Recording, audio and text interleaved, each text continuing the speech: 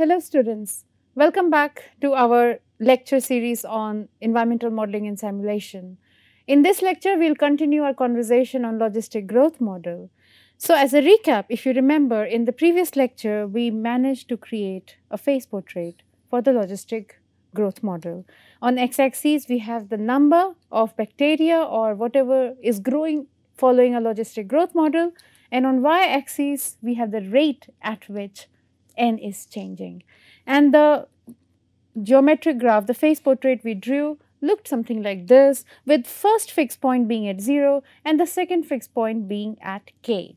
Now the k here is a very important figure and today we are going to figure out what is the importance of k. If you have studied logistic growth model before, you already know where I am going with this. But we are going to use a very different approach, not the typical quantitative analytical approach, but a geometric qualitative approach. We also understood in the previous uh, lecture that among these two fixed points, so let me write here that these are, we have two fixed points here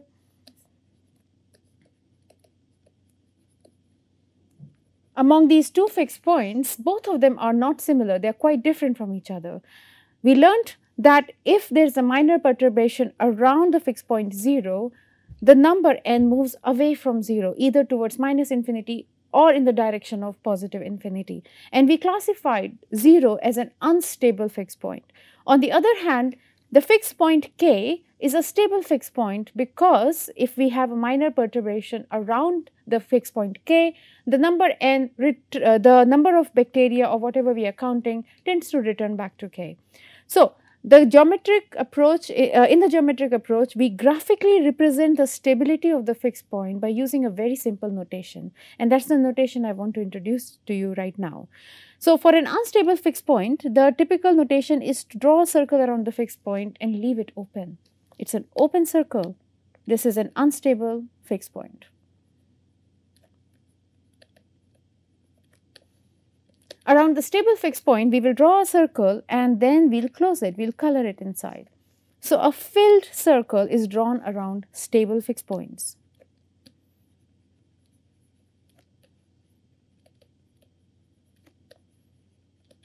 The other thing that I want you to remember from the previous lecture is how to graphically determine the stability of fixed point. Remember whenever dn by dt or your rate at which things are changing are negative, the flow is towards minus infinity.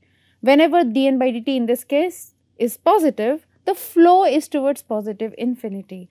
So, by looking at the direction of arrows, we get an idea of how the perturbation will move around fixed points in the fixed point n equal to 0, notice the arrows are moving away from the fixed point. So, we know that the movement will happen away from the fixed point and hence it is a it is an unstable fixed point.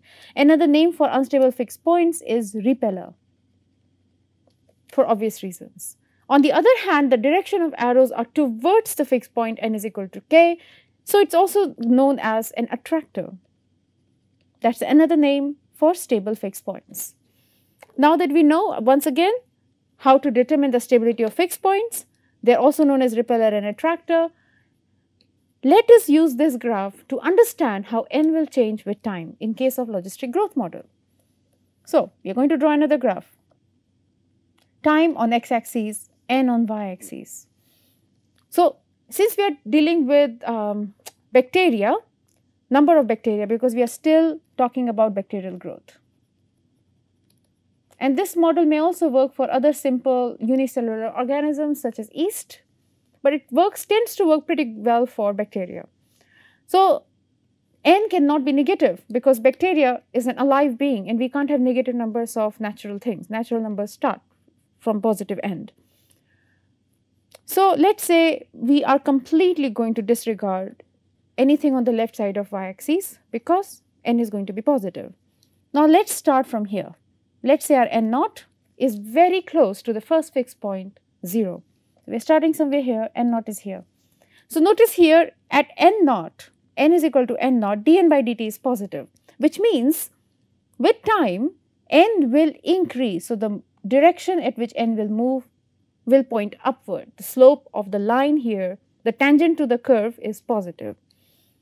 By the time n increases and reaches another value nt1, let us say NT1 is here, notice that dn by dt is now much bigger than it was when n was equal to n naught.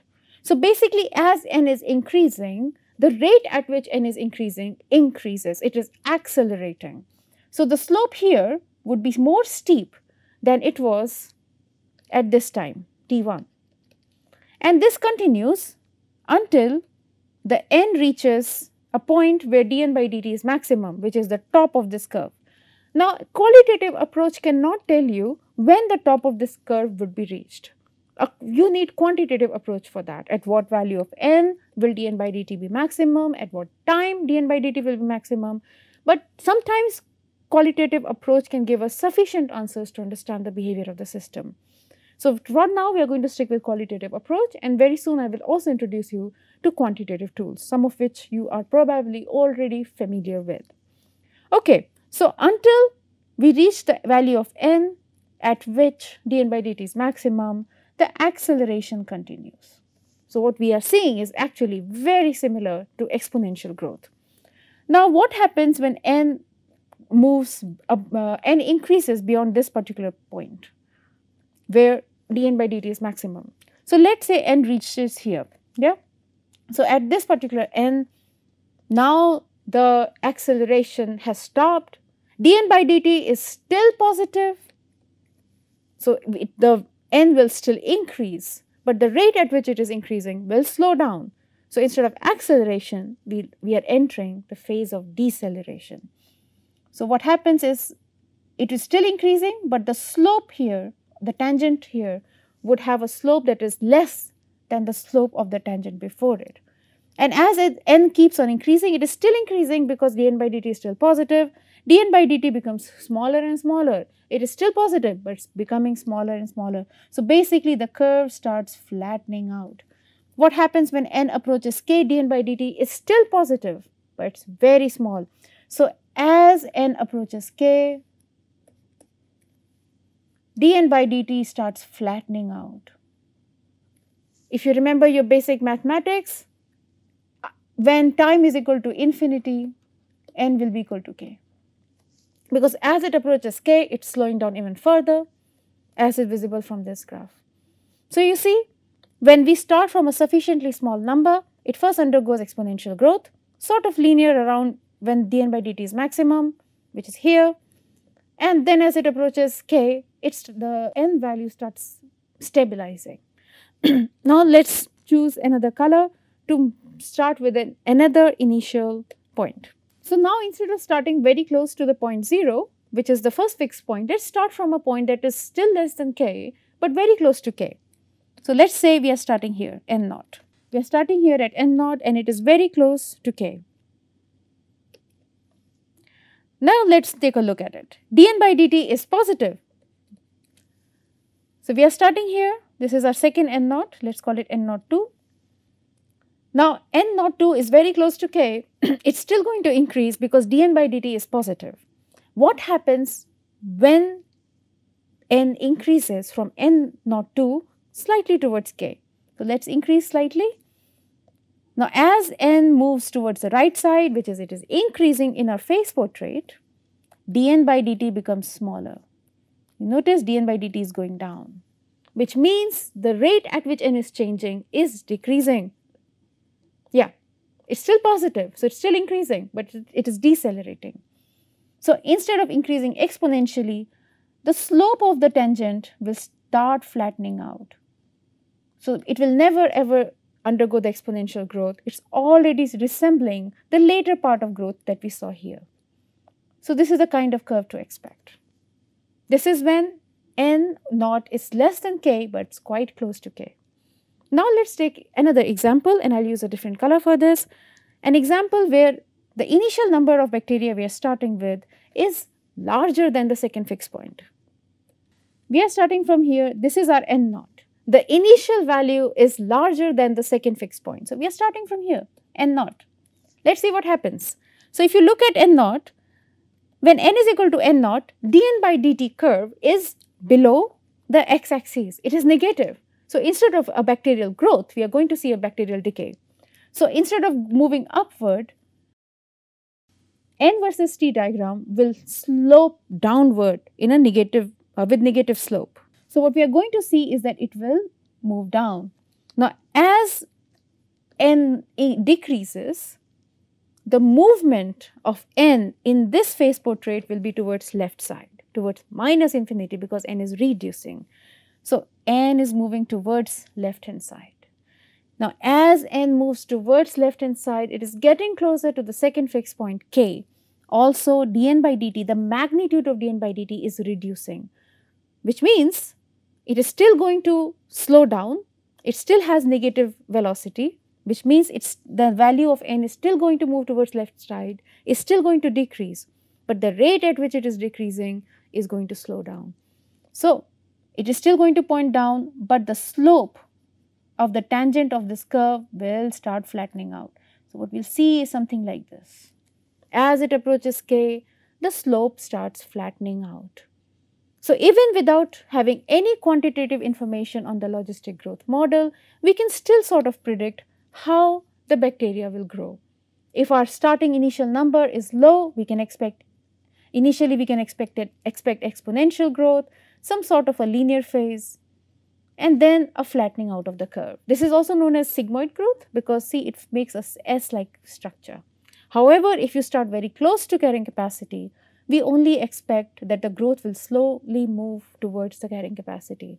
If we start more than carrying capacity, we are going to see a net decrease in the bacterial number and it will approach the K. I have been using the word carrying capacity, the phrase carrying capacity without actually introducing you to it so, I will take this opportunity to now introduce you to carrying capacity. Notice, no matter where we are starting from n greater than 0 to n which is much larger than k, all the trajectories, these dark blue, light sky blue and purple lines are trajectories. All the trajectories are eventually ending up at the value k. So, no matter where we start, the final at sufficiently large time, the number of bacteria will be equal to k. So, what the scientists understood when they looked at these plots, when they looked at this behavior of bacteria, it seems that bacterial number sort of stabilizes at a fixed amount and that amount is constant for a given environment under given resources. If I increase the resources, the K increases. If I decrease the resources, K goes down. So, they started calling this limitation, this very important number as the carrying capacity of the environment and your environment might be an ecosystem or a petri dish. Okay, so this was logistic growth model and for revision the very important terms that we learned here were fixed point, repeller, attractor. We also learned that this line and in this case it is a one dimensional line which shows which tells the person tells the scientist or the engineer everything they need to know about the system at any given time. In this case just the x axis is sufficient is known as trajectory. It includes phase points which inform me about the behavior or all the things I need to know about the system to understand the system at any given time. This particular diagram on left hand side is known as phase portrait. This is not something that people are very used to. People are more used to these kind of diagrams where you have the dependent variable plotted against the independent variable. Now, I am going to take another example just to make you more familiar with how this process works. So far, we looked at exponential and logistic growth model, which most of you probably are already familiar with as these are typically taught in undergrad or even before during the school. But now we are going to take some very simple models that you are aware of, but instead of using the quantitative approach, we are going to look at them using qualitative approach. So let's write, I will, uh, the first example I want to take is this one. The function fx is giving you dx by dt so, rate at which the value x is changing and let us use a very simple cubic function plus x to power 3.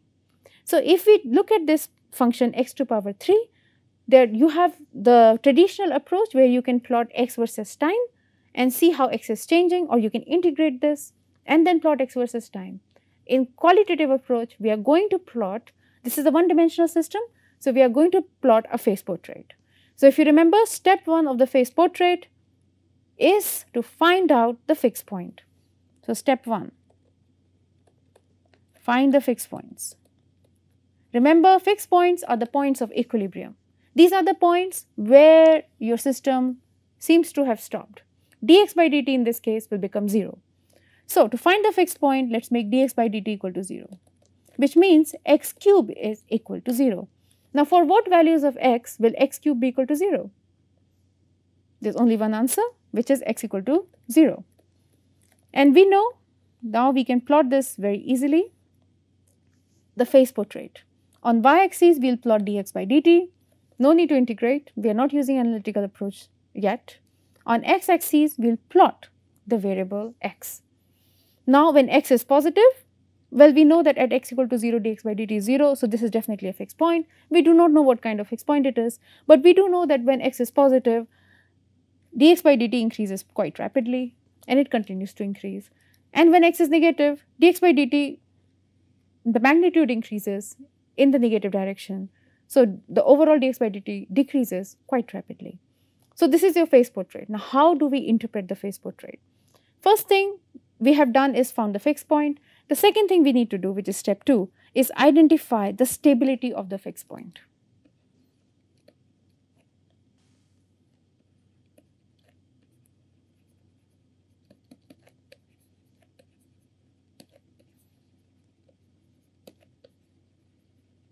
Now, ideally, I want my students to understand how we identify the stability of fixed point, which is by generating small perturbations towards the left and right of the fixed point.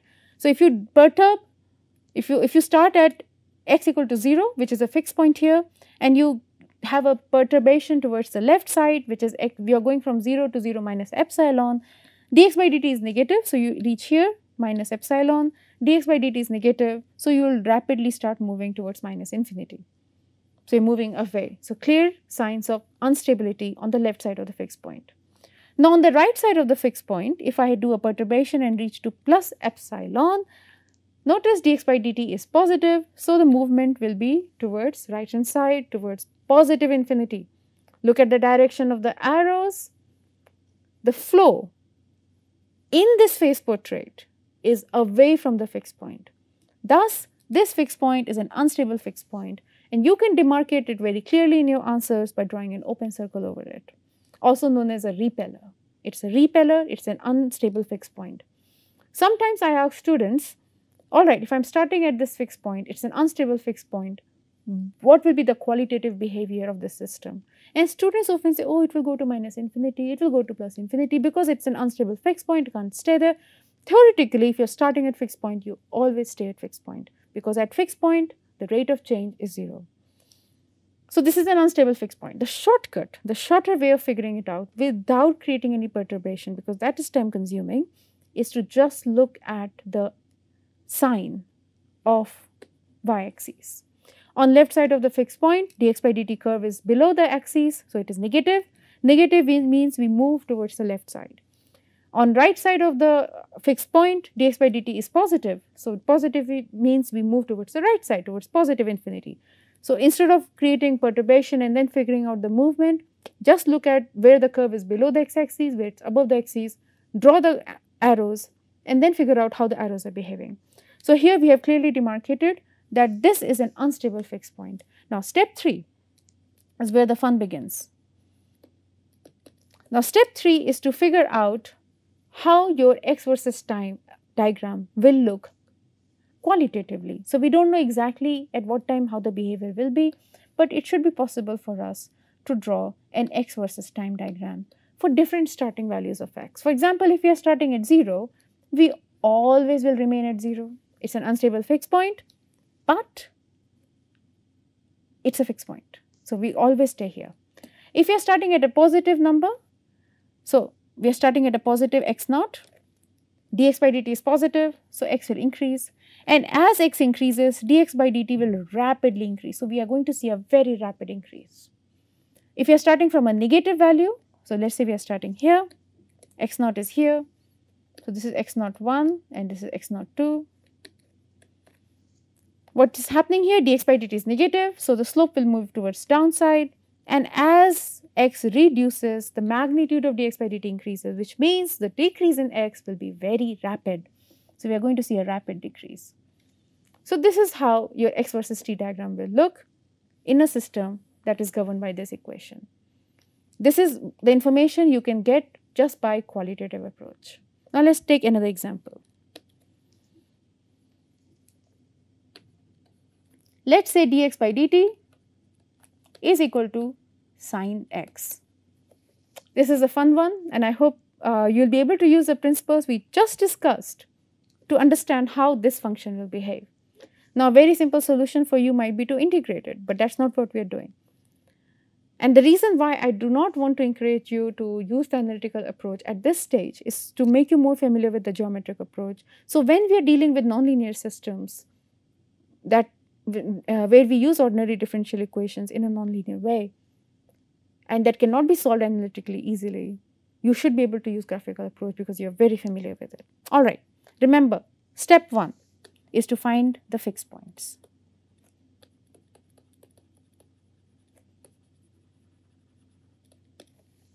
Okay. So, to find the fixed point, we want to find out all the values of x at which dx by dt becomes 0. Which means sine x becomes 0. When does sine x become 0? So, if you look at the graph of sine x,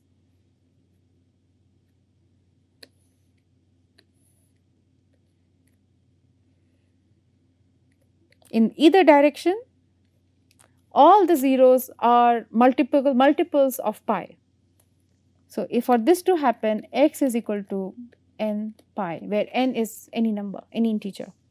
So, n can be 0 also n can be minus 1 minus 2 plus 1 plus 2 anything that is when this is 0. So, now we are going to do the step 2 which is make the phase portrait. Why do we need to make phase portrait? To figure out the stability of the fixed point.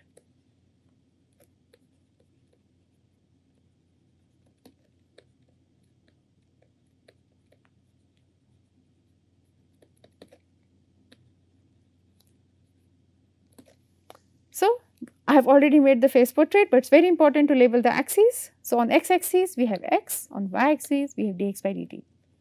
Cool. Now, we are going to do stability analyses for the fixed points. Now, notice that this goes on forever. Yeah.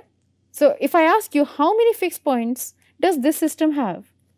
The answer is infinite because depending upon if your range of x is from minus infinity to plus infinity, you do have infinite fixed points.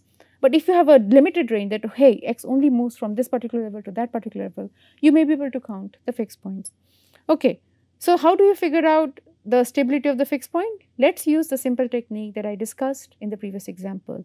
Just look at the intervals between the fixed points and between minus infinity and the first fixed point and the last fixed point and the plus infinity, which is not going to be the case here. And look at the sign of dx by dt there.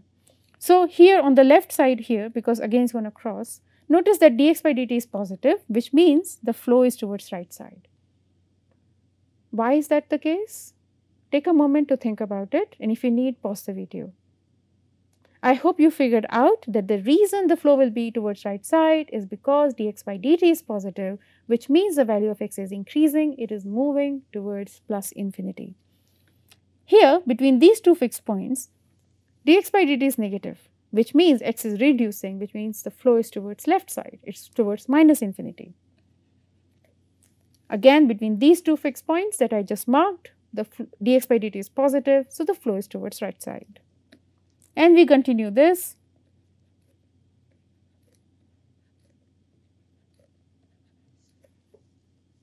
Once you have marked your system with arrows, all you need to do is look at how the arrows are behaving around the fixed point. So, if we start with this fixed point, let us call it fixed point A, the arrows are pointing towards the fixed point. So, this is a stable fixed point, it is an attractor. So, what we can do is draw a circle and close the circle. Now, let us look at the second fixed point, let us call it B. The arrows are moving away from the fixed point. So, it is an unstable fixed point, it is a repeller. So, what you can do is draw a circle around it and leave the circle open. And we can continue similar analyses for other fixed points. This one is going to be a stable fixed point because the arrows are pointing towards it. 0 is an unstable fixed point. The next fixed point is a stable fixed point because the arrows are pointing towards it. And then here the arrows are moving away from the fixed point. So, this is going to be an unstable, stable and then an unstable. Notice another thing. In this case, the stable and unstable fixed points are alternating. And this happens when your trajectory, your curve moves up and down the x-axis. So, in this particular case, since the curve sine x is moving below the x-axis and then rising up and then move up below the x-axis, we can even without drawing all the arrows, we can understand that the fixed points will alternate. However, this will not be the case if we have a curve, a phase portrait that looks something like this.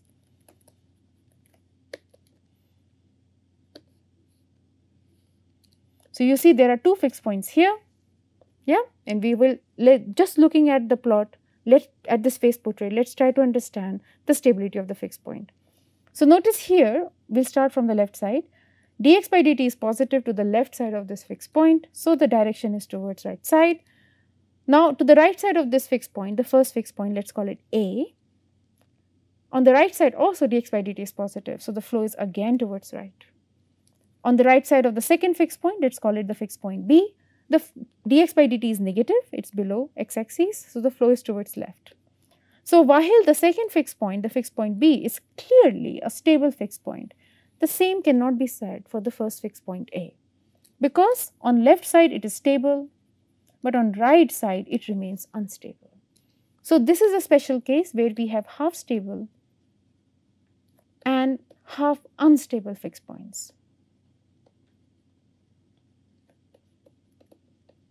If your plot is not, I call it bouncing off, if your trajectories are not bouncing off the axis, if your plot is not bouncing off the x-axis in any direction, you can be pretty sure that your fixed points will alternate instability like they do for x equal to sine x, dx by dt is equal to sine x.